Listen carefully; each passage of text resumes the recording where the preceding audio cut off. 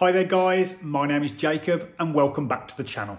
Now, I just want to say a huge thank you to everyone who has watched uh, the last video that I put up on the channel about my solar panels and battery system. Uh, currently, as of right now, the video has got about 1500 views, which to be honest is amazing. I mean, it's been a long time since a video of mine uh, broke through a thousand views. So, you know, that's incredible news. So just thank you. If you're one of the people that have watched it, Thank you very much. Now, in that video, uh, in the comments, I've had a number of questions. Um, so in this short video, I just thought I would answer a few of those questions and also show you the panels on the roof and also the inverter and the battery that is in the garage. Because again, in the questions, uh, people were asking, you know, can you show us the panels? Can you show us the equipment? Things like that. So I just thought I'll make a quick video and just cover those things.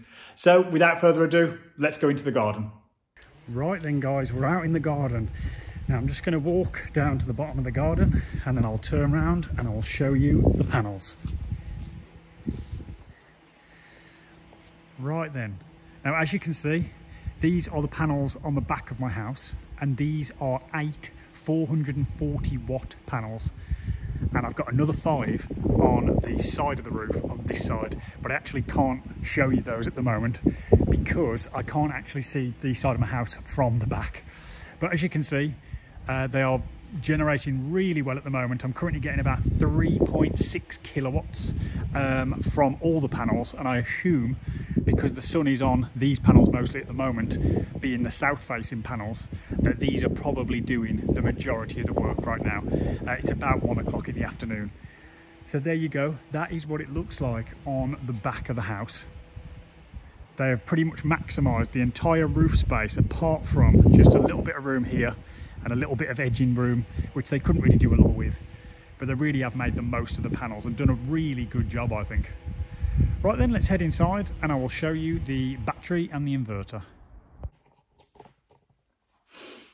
Right then guys, I'm back inside. So let's head through to the garage and I'll show you where the battery and the inverter is.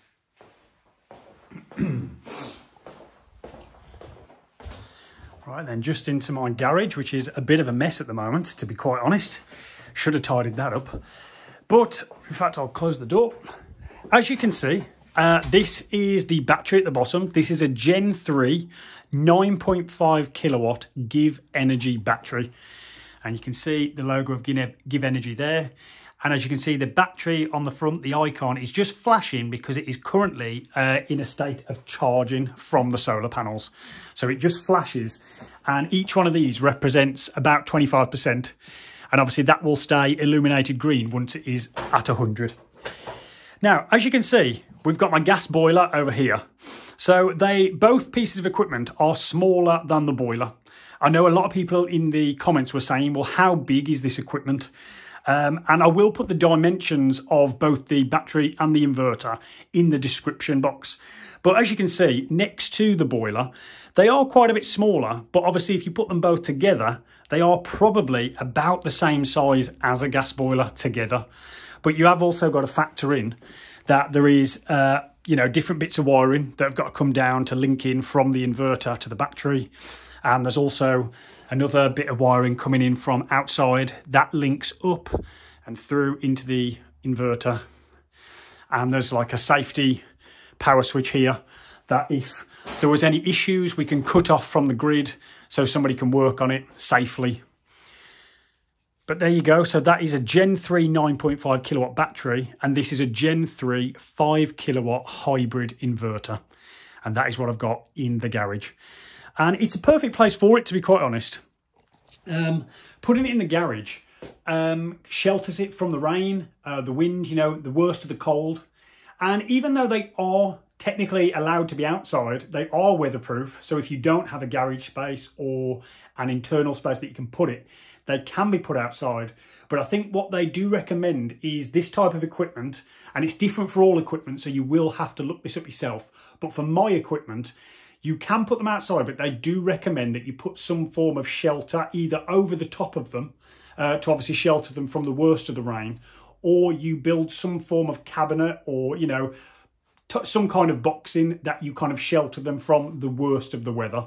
but they are technically waterproof and weatherproof. So, you know, they can just go on an external wall outside if you don't have the luxury of a garage space or somewhere inside like I have. Right then guys, another popular question from the last video was about the tariff that I've moved on to. Now, the tariff I've moved on to is with Octopus Energy and it is called Octopus Go. And with that tariff, I basically get a very cheap slot in the night that I can charge the battery. And that is from half 12 till half 5. And that is for 8.5 pence per kilowatt that I take from the grid. And then for the rest of the day, it's quite an expensive rate, which is about 25, 26 pence uh, per kilowatt. So that's obviously significantly more expensive than the night rate.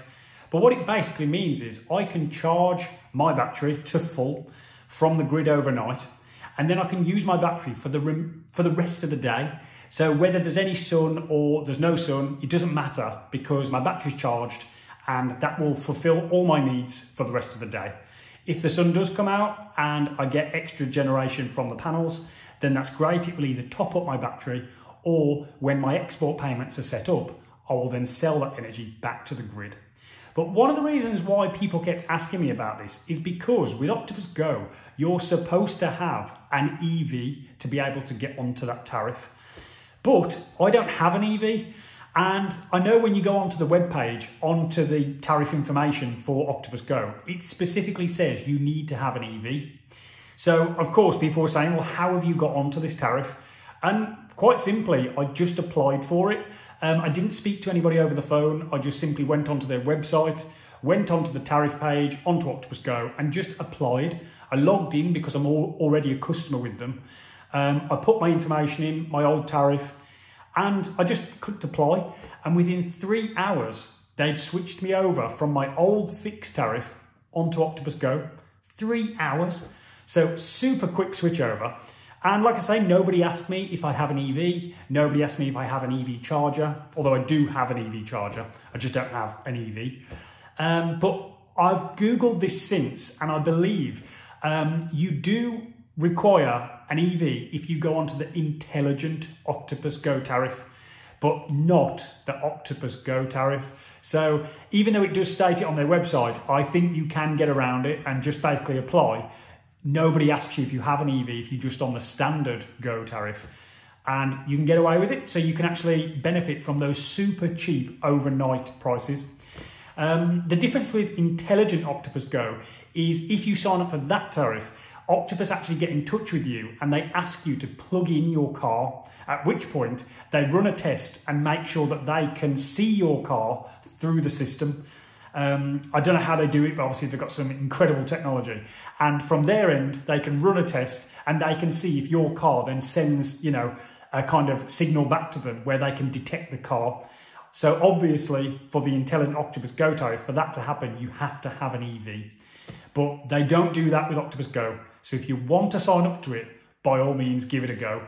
And if you're not with Octopus Energy right now, I have a link down in the description box of this video that you can use. It's a referral link and you'll get £50 credit when you use it and sign up. And I will also get £50 credit. So, you know, that would help me out massively. And it also helps you out too. So if you use it, I just want to say a big thank you.